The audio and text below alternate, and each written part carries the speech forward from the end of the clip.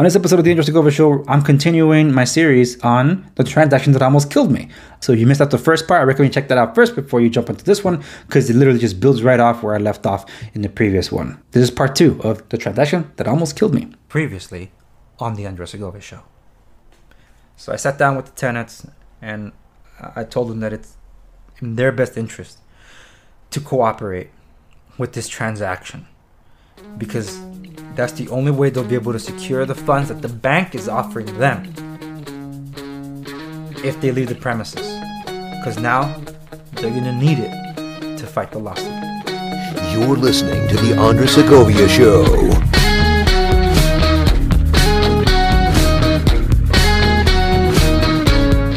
And welcome to the Andres Segovia Show, everyone. I am your host, Andres Segovia. In this episode, we pick up where I left off in part two of my short sale transaction nightmare, the transaction that almost killed me.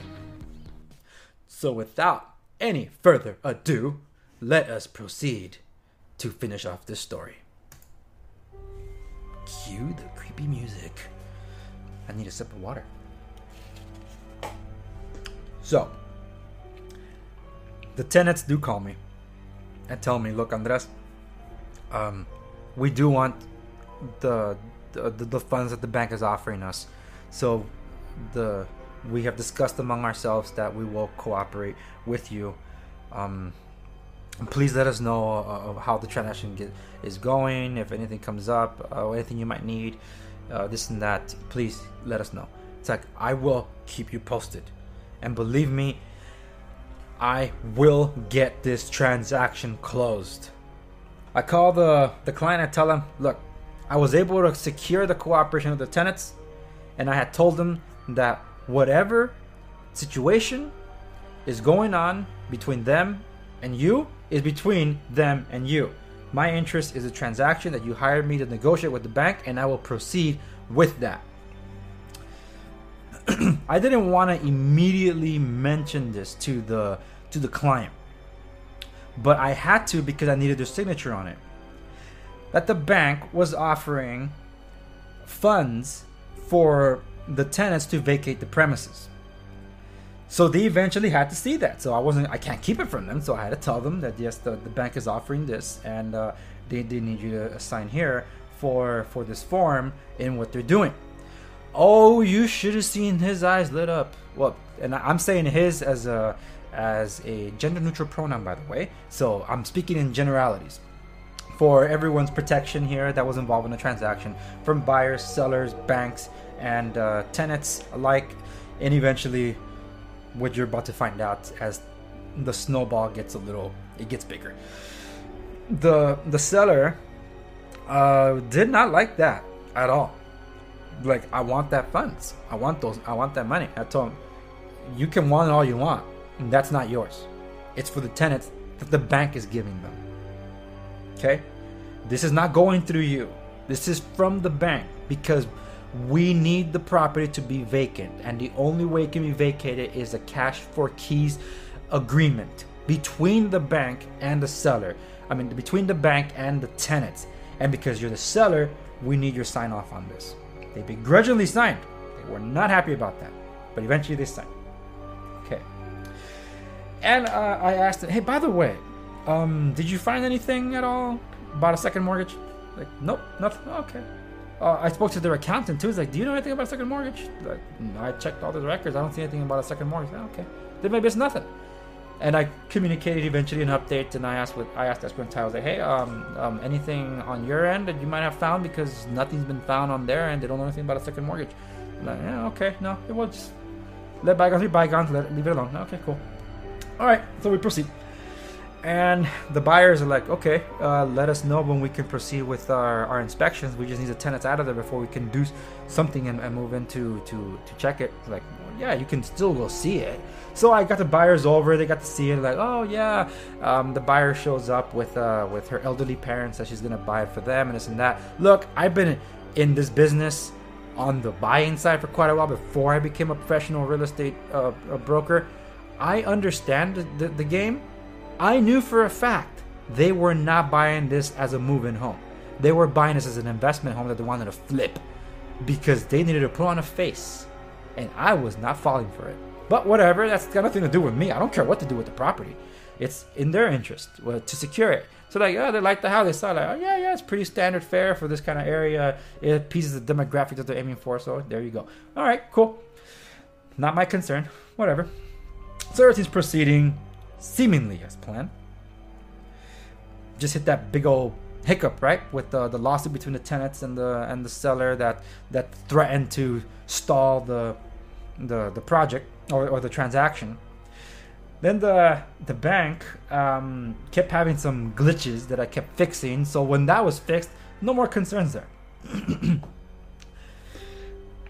so to make sure everything was still coming along swimmingly, I reach out uh, to escrow and ask them if any, anything else, and I ask for so and so. They're like, um, yeah, so and so's not here. It's like, okay, can you just pass on the message for so and so so they can get back to me? Like, yeah, yeah, sure, sure, sure. sure. Not once did they mention to me that the escrow officer that helped me get this deal in traction left the company. I was left in the dark for about a week. Things were falling behind on the escrow side that the bank needed.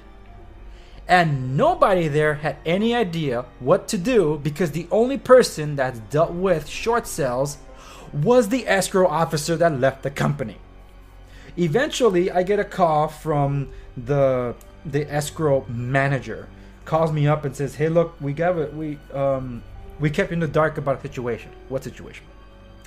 The escrow officer you've been working with, uh, um, she's gone. Um, we do have a new escrow officer. We're gonna I'm gonna get you connected with her. But I just need you to I just want you to know that so and so no longer works with us, and uh, her file's been passed over to the, the new escrow officer. Is That okay? Well, we're behind on certain things, bro um, we got to get on track because the bank needs certain documents that needed to be sent, and escrow uh, is is fudging the numbers here because something's going on with uh, some of the update settlement statements that are, are not are not are not matching up. So um, keep that in check. Uh, but uh, I need I need confirmation about something here. So get get your get your people in order. Let's get it working. Let's proceed. Okay, go. The new escrow officer had no idea what the hell she was doing that was already bad. And she was being in charge of a powder keg situation with my transaction because the title company reached out to escrow because the new escrow officer checked in my file, communicated with with escrow to talk about the um, the preliminary title report that we had gotten weeks earlier, and it showed that there's a, that second mortgage. This second mortgage thing was like rearing its ugly head again. So like, okay, um, whatever transpired between the the original escrow officer and that title rep because they they were best of friends or something like that apparently they stopped talking to one another so when they stopped talking to one another title was no longer operating efficiently and effectively on the file and the escrow had no idea what the hell to do with my transaction and the things that were falling behind that were needed to be turned over. Okay, I needed to get things for the buyer. I needed to get things for the seller. I needed to get things for for the bank because technically there's two clients behind the seller side, the seller and the bank. And of course, exchanges between any other parties and clearing things to get ready for the eventual um, transfer of the property and the exchange of monies. And that wasn't happening. So, like, okay, I need you guys to get your crap together. This is getting crazy. At the same time, the seller is ramping up his threats to the tenants that is threatening to sabotage the transaction. And I was trying to make it clear speak through your attorneys.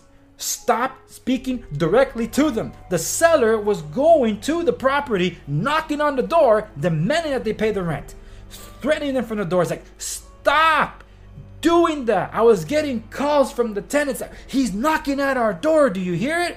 Holy smokes. It's like, sir, they are under no more obligation to pay you the rent because they're fighting this with you in the court of law because you're the one who threatened a lawsuit. So you trying to come ahead of the curve isn't helping things. You told them you're taking them to court, so they're gonna fight you in court. So don't go demanding the rent over there. It's like, Andres, I'm gonna evict them. Sir, I am negotiating a cash for keys. They're going to leave. No, they are not leaving without having an eviction record on their record. I want to make sure they hurt when they look for the next property. It's like, what the hell? It's like, dude, this isn't happening. I thought we had this conversation already. Nope, that's exactly what he started to do. He started getting eviction proceedings going. Like, oh my goodness. Then the tenants were straight up panicked about this because they started getting a lot more people on their side to fight this. And like, oh crap, I'm going up against the clock. So I called the bank. The bank, yo, um, how are we looking on your side? We're looking good with the process. No, Andres, we're missing this and this and this and this and that. It's like, oh my goodness. I call escrow. Escrow, they need this, this, this, this, this, and that. It's like, you need to get this going. Escrow wasn't doing it. My goodness. Hurry up. We already lost one week that you idiots didn't tell me that the escrow officer had left. Now we lost another week because the new escrow officer has no idea what the hell she's doing. You get your crap straight. We need to get this done. We've lost two weeks. Thanksgiving is upon us, and I need to get the buyer's things going because we have a close of escrow date of the end of November. We were supposed to close this escrow in 30 days from the time that the bank had agreed with the buyer that we can proceed. And of course, getting everything ready. Look, that doesn't happen in a short sale. Never does that happen in a short sale. These can take about a year. High tense stress situations. But this thing was a powder keg and everybody wanted to get out of it, and everybody wanted to make sure we closed before the holidays. The intent originally was to close before Thanksgiving. I knew that wasn't going to happen, so I told everybody, calm down your expectations. That's not going to happen. We're going to close at the end of November. That is our goal. But if we can close before Thanksgiving, we will. Buyers, you already wired on your deposit. Thank you so much. Get everything else lined up. I will close this. Then the buyer says, "Thank you, Andres, but this preliminary title report says that there's a um, a second mortgage. Um, I've already been looking into that. It shouldn't be a concern. It'll be wiped away from the record, so you're gonna have clean title when you take possession of the property." So, escrow wasn't getting it done, and because I told them, "You guys need to get." You guys need to get title on your side to make sure that they had stri- they put a strike on that second mortgage on that preliminary title per the previous escrow officer's um, notes. It's like, okay. And because the new escrow officer was not meshing with the title rep, they stopped talking altogether. So I was emailing uh, directly to the title company and telling them because apparently I had to be the freaking liaison because escrow wasn't getting the job done and I even had to coordinate everything for the buyer to the escrow because escrow didn't know how to how to coordinate any digital signatures. They didn't know how to do mail carriers because they were in a state of chaos because they had to get every single other transaction in line with a new escrow officer since the other one just got up and left. Like, what the hell, man? So then. I eventually I um, I get a um, I get a, a response back from title and said we're not we never agreed that we're going to strike that thing off the title. I don't know who told you that. We can't do that. It's illegal you have to get a hold of, you have to clear this second mortgage. I'm like, what the hell does that even mean? It's like I'm only conveying the message of what has been told to me since the beginning between the original escrow officer and you that you guys have agreed that you will strike it. After that, title stopped responding to me. I'm like, what the hell? They stopped responding to any of the emails. They weren't talking to escrow. I'm like, okay, this is this is getting serious, and it's just it, it's crazy. And by this time, I'm get I have a lot of pressure um, that's happening, and it happens to be in a very busy season for every business that I run taxes and personal things that I had to deal with because uh, um, got to get ready for for for closing out the new the, the, the new year and I got to prepare my own taxes and everything. So my goodness, there's just so many things I had to get in order, and this thing was taking up 25 of my 24 hours. I'm like this is nuts. My phone would be ringing off the hook, emails would be coming through, misinformation, misunderstood. There was an error. I don't have this. This is missing. I don't have that. We're behind on this. I'm like my goodness what more can I do? This was a freaking favor. So um, it's it's crazy. I'm getting panicked emails, phone calls, text messages from the tenant side. The seller tells me that I don't. He doesn't care what whether I succeed or not. I'm gonna go do what I'm gonna do. I'm gonna secure my money. I have the bank telling me it's like we're gonna cancel this thing if we don't receive these things by this time because you know it's falling behind. And the buyer is like, what the hell's going on? And I'm like, I'm trying to figure this out. And escrow, no one is picking up the phone to answer me. Uh, no one's responding to my emails anymore. So I show up to their offices I'm like, I'm here. Where the hell are you guys? I'm looking at all of you here. What is going on? So they're like, oh yeah, you know, sorry man, uh, this that. that's not good enough. I have a ton of people that are gonna be in an uproar if this thing falls through. I have people that are gonna be on the streets. I have people that are suing other people, and I have others that could possibly sue me because of all this nonsense. You guys need to get your crap together. The only one I couldn't go confront personally was Title. Time was wearing on. We're approaching the finale of the of the timeline. We don't make it, we have to extend. I'm like, how can I secure the cash for keys? If I'm if if if, if escrow doesn't even know what the hell to do. They, they keep screwing up their, their balancing and on numbers and stuff. And I, I knew I was gonna come back to haunt us, which it did. So, what um, I get a call. It felt like a random call out of nowhere, a number I didn't recognize. So I got a call, and the call happened to be from the previous escrow officer. She called to tell me that she apologizes for the, the situation, that she had to leave. And I told her, I am so glad that you called me because I am in a pickle and it's because you left. They're like, What are you talking about? And I explained to her everything, and she's like, Oh my gosh, I am so, so sorry about all this. You have to understand that there was a fallout that's been brewing for some time before I even got involved in this transaction uh, between her and uh, and the owner of the company who seemed to be doing fishy things inside the escrow. I didn't really know what he was doing. So I'm like, oh my goodness, this is not something I needed to hear at this point. So like, I have a problem that I have an incompetent escrow officer handling my case now. And she's like, This is what I'll do for you. I will put my biases aside and I'll reach out to the escrow officer um, and the manager and I'll tell them, Look, um, I'll finish this file for Andres. And that's it. I'm done. I'm out of there. Okay, that's how it's supposedly to go. So when the previous escrow officer got the file, she's like, What is this? And she was trying to make sense of the whole thing because it was just all over the place and she was putting it all together. And apparently, uh, it's just like the expression there's two cocks in the henhouse because they fight each other. That's exactly what happened between the two escrow officers. The escrow officer in the office was refusing to eventually cooperate with the previous escrow officer. I guess didn't like her for some reason. So that was becoming a problem because she wasn't getting everything she needed to. And every time she said that you guys needed to do this, the escrow wouldn't do it. So she was losing it. And I told I told the previous escrow officer, hey, um, so we have a situation where it's becoming more of an attention problem with this uh, thing that popped up in preliminary title about a second mortgage. A title says it's not going to strike it. Uh, can you talk to the rep because she's saying that you both never agreed to do that? They're like, well, that's not what we discussed. So then the previous escrow officer t- uh, uh, touched bases with the title rep and then the title rep told her what she told me. Never agreed. So then the escrow officer, the previous escrow officer told me, like, look, uh, yeah, this is not going to strike it. They're like, that's not what was agreed upon, though. Now what am what, what am I supposed to do?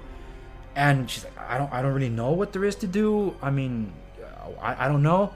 It's just like, I don't know. But this is what I'll do for you. I will go back to that office and I will work on your file from there because nobody's giving me anything. So at least on the escrow on the transaction side of things, I will do what I can to help close this deal. It's like, well, thank you. So at least I have someone on my side. She got up and went. By the way, in the meanwhile, through this entirety of this transaction, it's a lot of chaos. There's a lot of documents that go back and forth. Okay, so to make sure that everything is is proper, um, a professional broker and agent would typically hire an assistant in the form of what is called a transaction coordinator to make sure that all the T's are, are no, the, the I's are dotted, the T's are crossed, you know, all that stuff. So I had a TC that's been working with me since we opened escrow to make sure everything was in order. But the thing is, because there's so much back and forth and replacing documents, it was a little crazy. So I had I had told my TC every single week check the file, check the file. We need to make sure everything is there. Something comes up, you tell me, and sure enough, something will always come up that we needed this or we needed that. That's what was contributing to the slowdown with the um the the escrow side and and sometimes the buyer side because they, there were things that weren't being put properly on the documents or signed properly and dated. So like my goodness. So that's why I had a TC working on this the entirety of the time. So after I was trying to get everybody coordinated, Thanksgiving's coming. Like, what do I do? What do I do? What do I do? And normally I cook for Thanksgiving, so I'm like, this is not looking good. I'm not gonna be able to cook for Thanksgiving, and I'm not gonna be able to enjoy my favorite holiday of the year. So, as uh, time was coming, I'm like, let me see what I can do. I I pick up the phone. I call title. It was a Monday morning. I call, and uh, lo and behold, the one who answered the phone happened to be the title rep. And I told her, hey, I'm Andres from Mark One Real Estate the, regarding the property with the situation on the second mortgage. And as soon as I said that, she snapped at me. She said, I am not going to do what you're telling me to do. It's like, I, I, excuse me? It's like, I will not strike it from, uh, from it. I'm not going to do something illegal, so stop asking me to do something illegal. It's like, I'm not calling you to ask you for something illegal. I'm calling to ask you, what are the options? What can we do to get this off the record? Because apparently nobody knows what the heck to talk about. I've been reaching out with, and I'm not getting any clear answers. What must I do to get this off the record? I need direction. Please help me here. We are in a very intense situation. And nobody's giving any clearance. Escrow's falling apart as much as you know because of the competing escrow officers over there. And misinformation has been given to me, and I was basing myself off that. I am not asking you to hold to something you cannot do. I'm asking you to tell me what can be done so we can get this thing done. And she said, Okay, look. It's obvious that that bank that held that mortgage is dissolved. But their assets are normally transferred somewhere else. So the only thing you can do is find out where those assets ended up. It's like, you mean which bank now holds this mortgage possibly? It's like, yes. It's like, oh. See, that wasn't so hard. It's like, yeah. So, okay, go ahead. Like, thank you. That's enough for me to go on. I'll get on this immediately. So I get a, I get on Google because what else can I use? Yeah, right. I'm gonna use Bing. So I start doing a search. I looked at the bank. Then like it was dissolved on this year, whatever. Like a year or two after the um, the second mortgage was filed. So I'm like, wow, that bank went up pretty quick. Then I looked up the, the next bank over. Um, that bank dissolved too. So I'm like, crap, man, what the heck? Then I found another bank, and that's seemingly where the trail ended. I'm like, oh, I'm like, oh, cool. So I was able to get a hold of someone over at the bank, and I told him, hey, look, I got the situation. There's a second mortgage on, on title on this property in this state. The previous escrow holder was so and so. I mean, the previous mortgage holder was so and so, and before that was so and so, and it looks like the liquid assets are now under your possession. What I need from you is to show if the mortgage has either been satisfied, as in nothing is owed, I need something to that effect, or if you do owe something, you need to get on board right now with the current short sale so you can have your mortgage paid out of the proceeds of this short sale because escrow's gonna need your information, title's gonna need your information, and they're gonna need you to also show satisfaction of that debt because this is a short sale. Oh, okay. Thank you so much for letting us know about this, Andres. We're looking, we're gonna look it up, and we'll let, we'll let you know. So I got to call back and say, hey, guess what? It's settled. Like, oh, thank you. Got some good news. So like, okay, great. So then like, okay, here you go. We're emailing you the the certificate to show that this is all over and done with. All right, great. So I got it. I forwarded to title. And so the title's like, look, this is what I got from the bank. They're like, oh, good. But where's the assets? Like, what do you mean?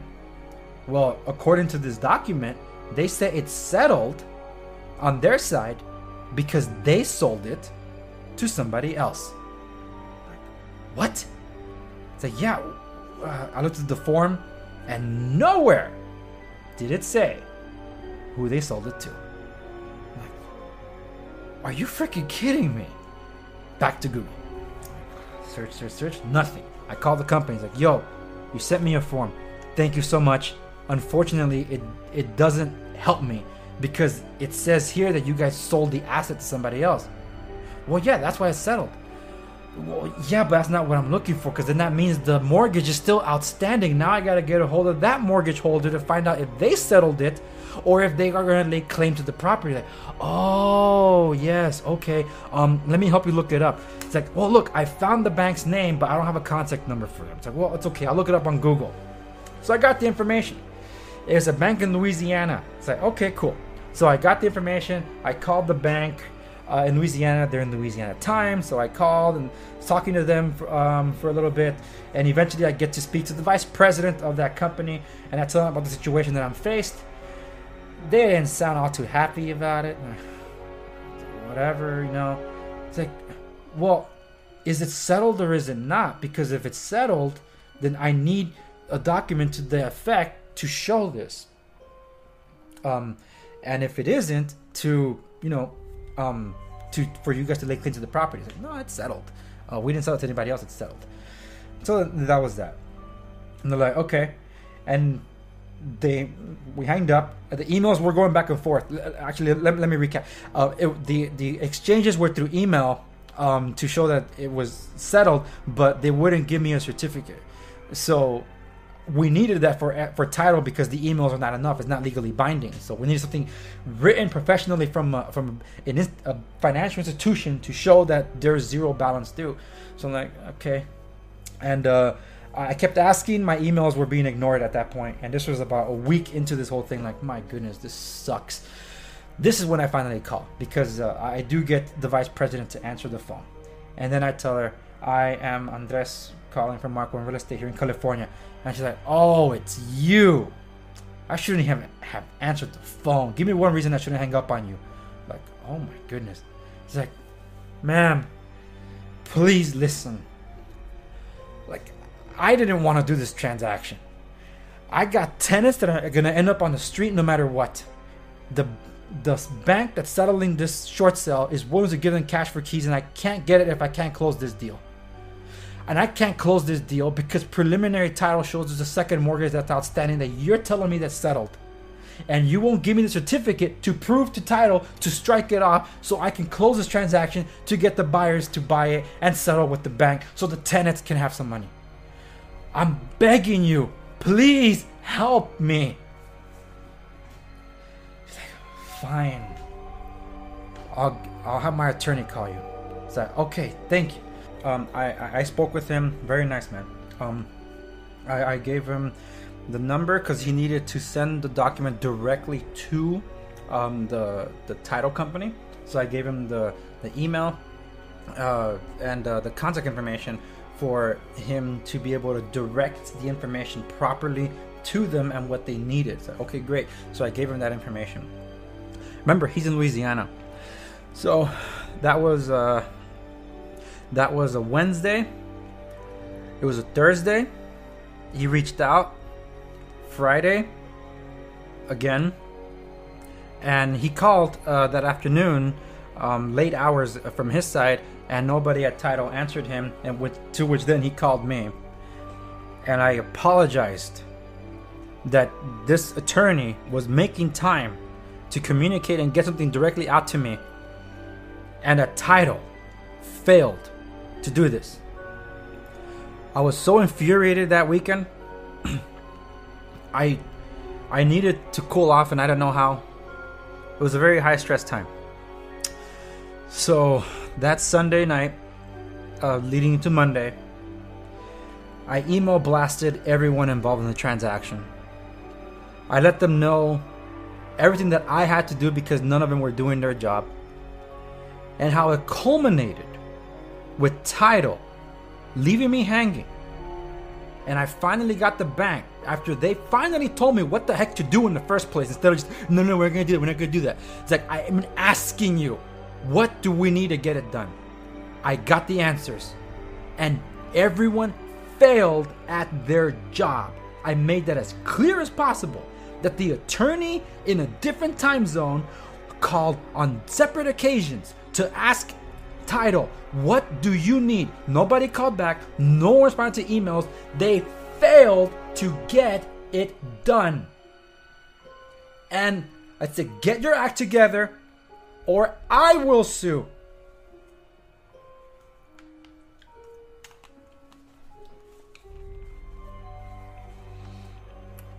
I didn't say I will sue, but I threatened it in there in different legal terms. But I'm just giving you the gist of my legal lingo when I said it. Um, people were uh, offended in the right way when they realized the powder keg situation leading up to that Thanksgiving that I needed to secure the keys from the tenants with the promise that I will close this deal. And because every, I kid you not, I'm summarizing an event that was about three to four months in the, um, as it all played out. That every single day I was getting calls and emails, text messages of something going wrong. And this is the Blackberry days. I love my Blackberries. But the blinking light became a, a trigger of anxiety. So right before Thanksgiving, I was driving to Chino between Diamond Bar, the 57 to, to Chino through a cutoff. It's a it's a place that goes through a canyon. So I'm in California for those that don't know.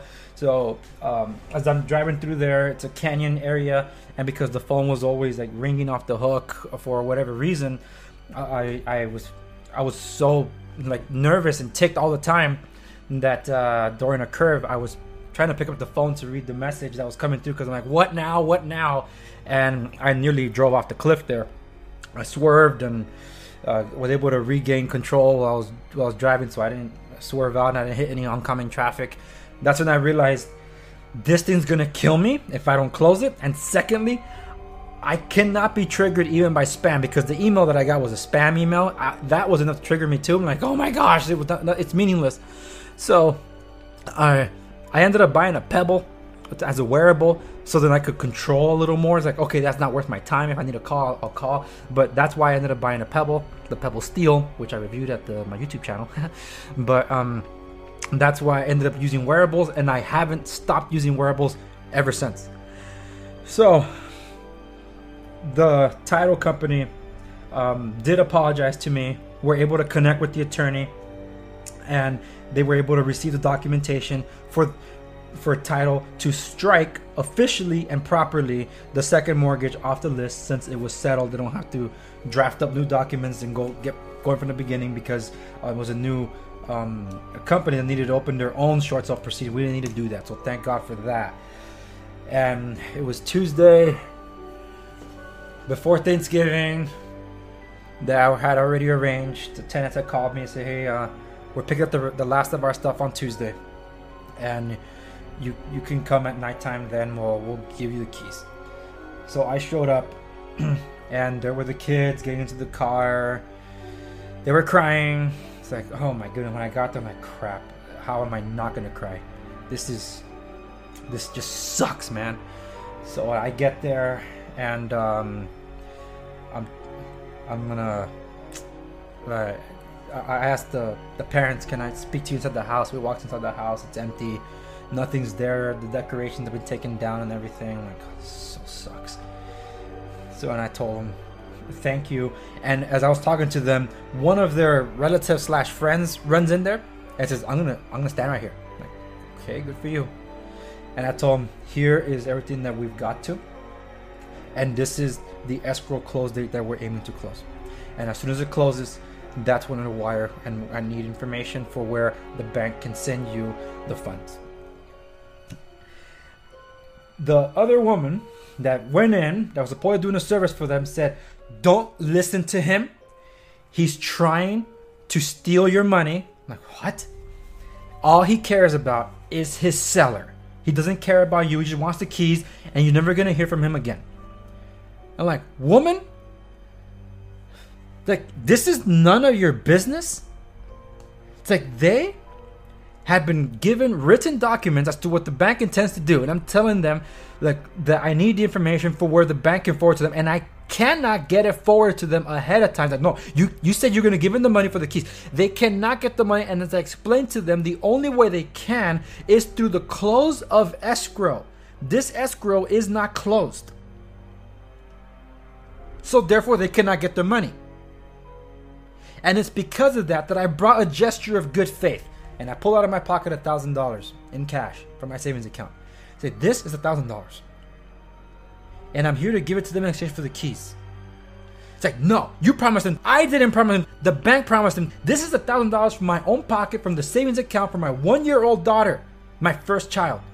This is what this is meant to be for her college funds. And I'm taking it out and giving it to them because I trust them to give me my $1,000 back when I close this deal and they get their money.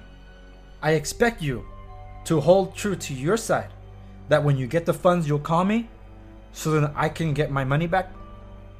Because if I fail to close this deal, there's no reason you have to turn my money back. And I don't get paid unless this deal is closed. No one's giving me a cent to this point, and I brought us all the way to here. Against all odds, I brought us all the way to this point. So don't tell me I'm here to steal their money. This sucks. I care about what's happening here. And I want to see this done because I came to do this as a favor. I didn't want to do this. But I'm seeing it through because it's in everyone's best interest for us to get done. The lady stayed quiet. They didn't say anything else. The tenants um, acknowledged they agreed. Like, well, we'll give you the money back once we get ours. Thank you for your gesture. And they gave me the keys. They stepped outside. I made sure all the doors were locked. I stepped outside. And the couple walked uh, hand in hand, sobbing as they went to the car that was taking them to their hotel. And I walked back crying to my car. Like, I need this to be done. This is where we take a break. and we're going to wrap up the story in part three of my short sale nightmare, the deal that almost killed me. That means I'll see you in the next one. Hey, you made it to the end. I hope that means you liked this episode. So, by all means, to show your support, hit that like button down there. Don't forget to subscribe if you haven't done so already. And if you please would, share this with somebody you know that will benefit from the content of this channel. See you in the next one.